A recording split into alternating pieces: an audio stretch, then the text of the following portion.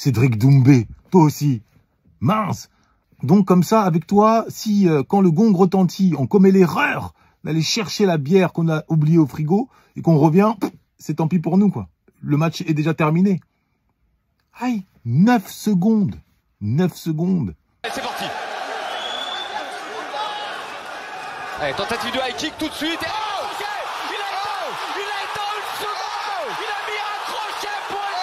C'est-à-dire qu'il lui a fallu moins de temps pour envoyer son adversaire au tapis que Usain Bolt pour remporter un 100 mètres. C'est incroyable, surréaliste, phénoménal ce qu'il vient de réaliser. Alors, à défaut d'avoir pu profiter pleinement d'un match, au moins, on peut tirer deux enseignements de cet exploit. Le premier enseignement, c'est que l'humilité précède la gloire, sauf si l'on est camerounais ou que l'on s'appelle Mohamed Ali. I am the greatest. Deuxième leçon, et non des moindres, c'est la suivante. On a tendance parfois à dire que euh, la meilleure défense, c'est l'attaque. Eh bien, Cédric Doumbé, là, vient de nous apprendre l'inverse. Que dans bien des cas, la meilleure attaque, c'est la défense. Mieux tu sais te défendre, plus tu sais attaquer. En somme, l'art de contre-attaquer est une arme absolue. C'est une arme absolue. Si tu regardes bien la scène, avant la gauche supersonique que Cédric Doumbé a fait s'abattre sur le crâne de Jordan Zebo, il a d'abord pris le soin de bloquer le coup de son adversaire. Appliqué sur le terrain du Logos, tu dois être en capacité de bloquer une attaque et de rebondir dessus immédiatement. Exemple, on te dit que tu es arrogant.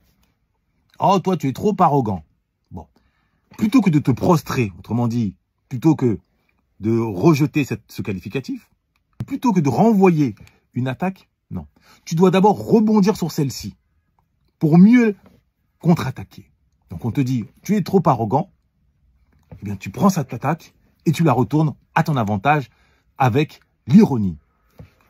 De la manière suivante. Ah, je te remercie. Venant de toi, je le prends comme un compliment. Voilà. Ça a l'air anodin comme cela. Sauf qu'en prenant cette attaque, en la retournant à ton avantage, mais en précisant venant de toi, tu retires à ton interlocuteur toute valeur, toute autorité, en lui faisant comprendre que il n'est personne à côté de toi. Et que du fait qu'il soit personne, eh bien, ce qui à ses yeux est un reproche, ne peut qu'être une qualité à tes yeux. C'est l'histoire du chihuahua qui reproche au lion de rugir trop fort.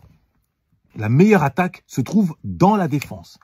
L'art de contre-attaquer avec force, en usant de l'ironie. Tiens-le toi pour dit. Noblesse oblige.